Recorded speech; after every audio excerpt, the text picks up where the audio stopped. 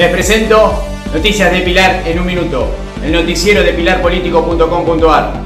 CGT Pilar. Alrededor de 30 gremios de Pilar se reunieron en el camping del Sindicato Químico de Pilar para expresar de manera clara y unánime la decisión de normalizar la Confederación General del Trabajo Local con un triunvirato, tal como está conformada la cúpula de la CGT Nacional.